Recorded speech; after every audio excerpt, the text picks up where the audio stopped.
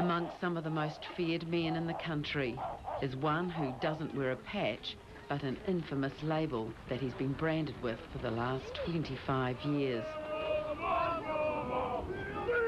Today, Mark Stevens walks as a father and alongside the mongrel mob as a brother, and he's talking on TV for the first time. You used to be considered one of the most frightening criminals that walked the streets of New Zealand, the Parnell Panther. And some people probably still think that. Well, I think you'd have to ask my 80-year-old neighbour that lives across the road that I painted her house is whether she thinks I'm this big bad ogre. Like I said, it's, it's about perception, eh? And the perception is only reinforced by the trademark shades, the tats, the leather and the swagger.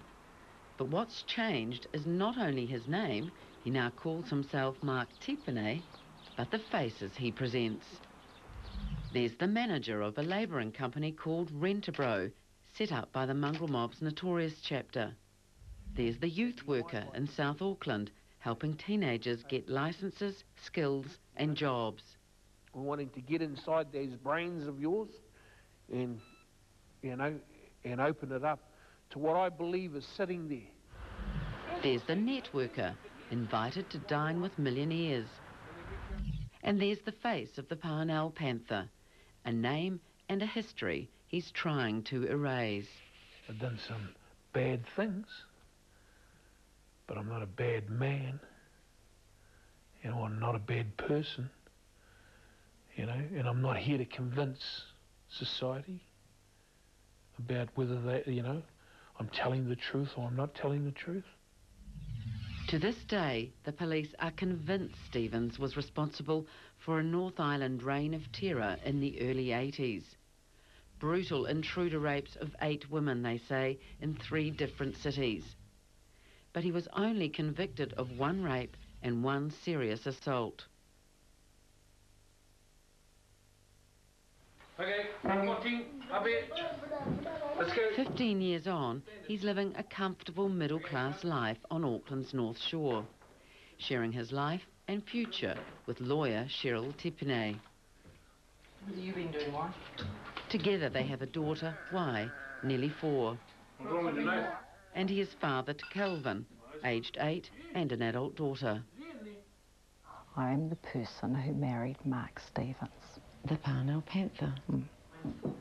One could label me nuts or really naive. But those that know me know that I am not a naive person, that I'm not unintelligent, that I'm not one who wears rose-coloured glasses. Take them to the movies. Who would have thought that 15 years after you got out that your life could be so good?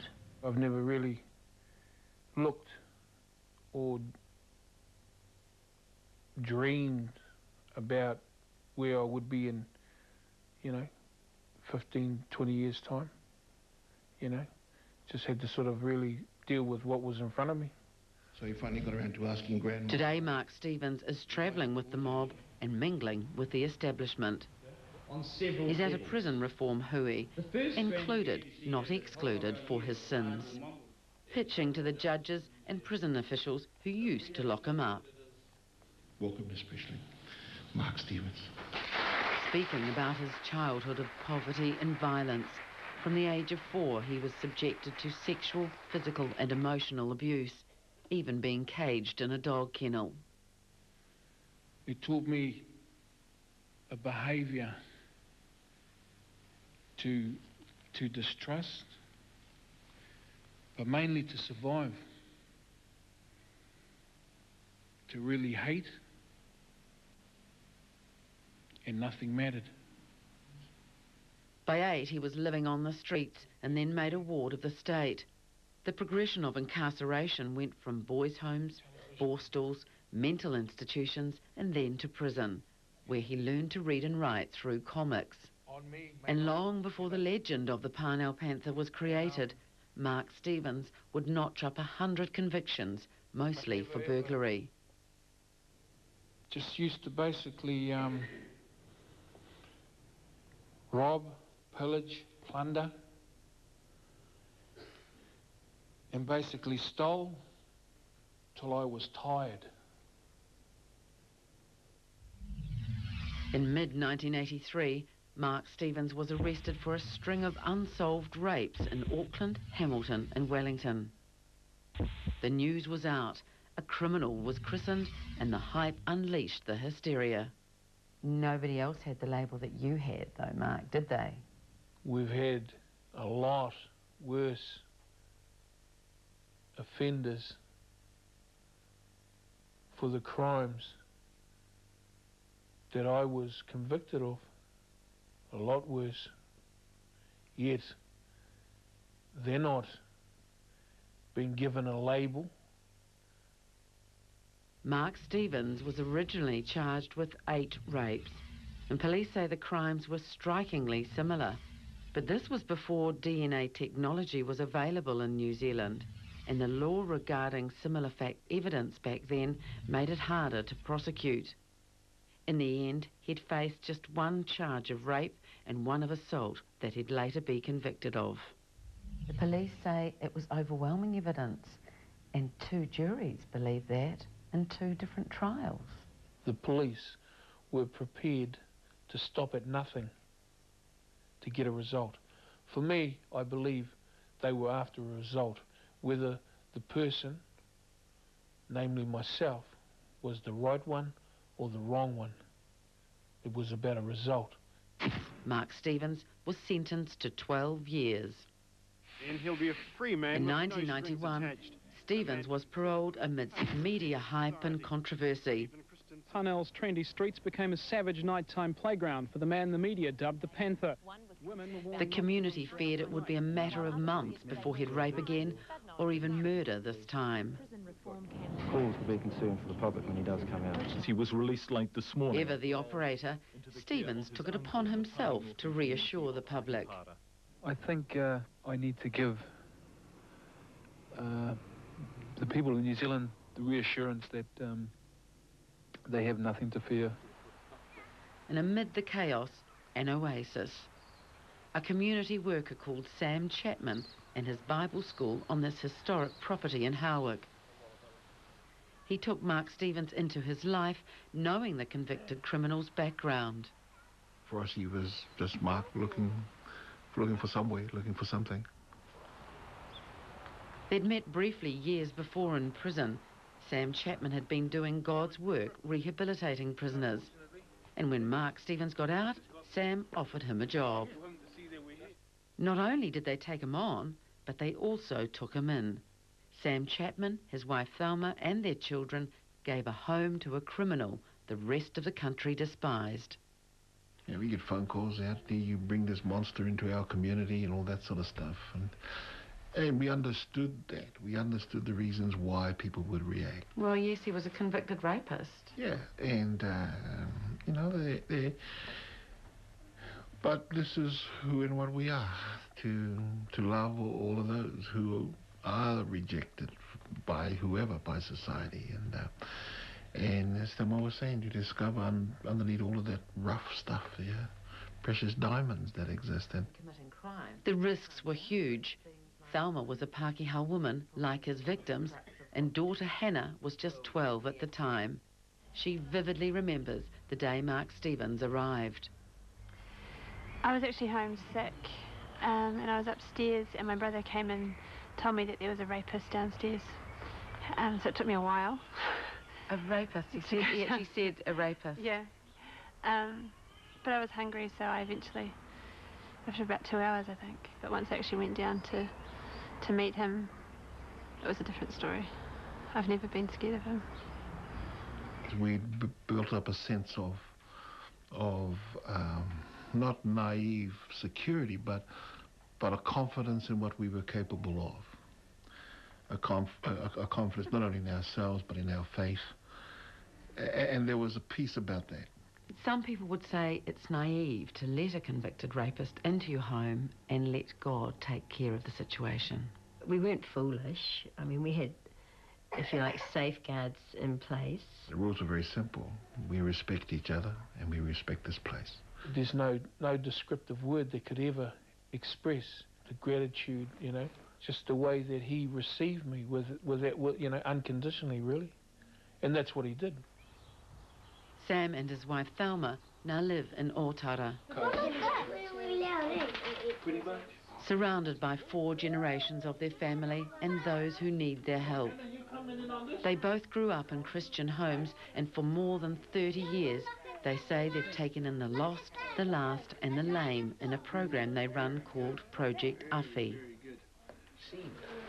Making. Mark Stevens was just one of the hundred or so who have lived under their roof. Hey guys, look, Uncle Mark got the sandwich. But this controversial lodger stayed for nine years. And for the first time, the Chapmans say he experienced what it was like to belong to a family. For a long time, he just watched because he said, I remember him saying one time he'd um, never had a fam, you know, the family environment, and we gave him a birthday cake for his birthday one year. Uh, The first year he was with us, and he could never remember having had a birthday celebration. Just sitting at the same table was a breakthrough for this man. After being beaten by the women in his family and then forced to return to his violent childhood home by a female social worker, Stevens refused to eat and interact with Thelma for a long time. How difficult was that? I mean, this was your own home and this was your own family and he was living under your roof. You have to give him space after what he'd been through and come, where he'd come from. When I did find that out, it, it just made me realise what a remarkable woman she is. That he wouldn't talk to her and he wouldn't sit at the same table, like I said. Um, I don't know if I could deal with it myself and still allow him to live in the home. But that changed. How much do you thank Sam Chapman for what he's done for you and your life?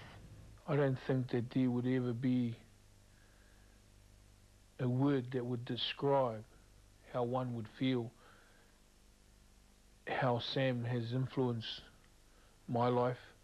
Both Sam and his wife Thelma are, are, are extraordinary people, and I and I don't say that lightly. You know, I, you know, it's with um, great thought as to who they are as as as people. It was through Sam Chapman that Mark met his future wife Cheryl. She was then a law student and is now working as a barrister in South Auckland.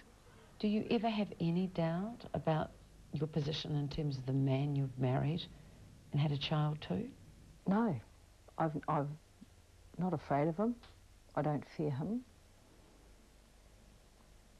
I know what I believe to be the truth. I don't expect others to to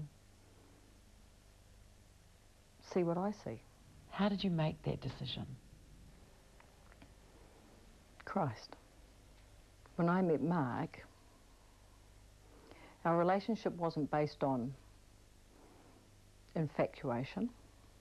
I sincerely believe that his the genuineness of his heart came through. Everything about his past was revealed through his mouth. As a Maori, I've always known that God is real. We've all heard that one so many times before from people who have been inside that God has helped put the wrong right in their lives. Over the years that I was locked up, I saw men using the um, the God card to get out of jail early. Um, no one could ever accuse me of using the God card because um, instead of getting out early, I got out later.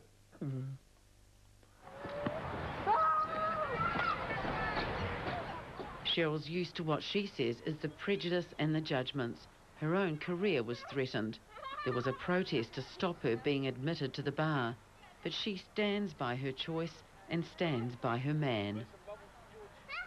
Was there ever a time when you asked Mark for the truth and you were given the truth? I never asked him. The day I met Mark, we sat down and he told me his life story from when he was a little boy through to the day I met him. He left nothing out. How do you know he left nothing out? That's a huge act of faith. The only answer I have for you is the same one I gave you. It wasn't anything but the Spirit of Christ witnessed his truth. He's now 44 and he's got all the support he needs, but he still has to play the tough guy. Can't you afford to just mellow out a bit? I mean, grow up. Throw away the dark glasses and the tough boy act. When push comes to shove, hey, you know, and a lot of people have been doing a lot of pushing in my life, you know, and probably the only safeguard that I've had has had to chuck that persona up to say, you stay over there and I'll stay over here and we'll be okay. But that stance keeps getting him into trouble. Since he's got out of jail, he hasn't offended against women, but he's clocked up more than 20 other convictions, mostly for driving and for altercations with police. We just love to hate each other. Unfortunately, you know, it does make Cheryl's job a lot harder by the way I react and, and act with the police. But you know, um, one of the things that I I um, said to her from the outset is what you see is what you get. Mark Stevens has proved everyone wrong so far, but many people will ask how a criminal can change his future when he has never admitted his past. Go. And I guess there are going to be some people out there that'll always look at me and say, oh, he's not remorseful, he's not remorseful. Well, you know, my question to that is, how can you be remorseful for something that you know you haven't done? The law courts made a judgment, rightfully or wrongfully. Uh, society assumes that the courts were right. He was punished for that. It's over. I've never questioned him about that. To me, that's that's finished. I've paid a price in more ways than one, and and um, you know, spending the best part of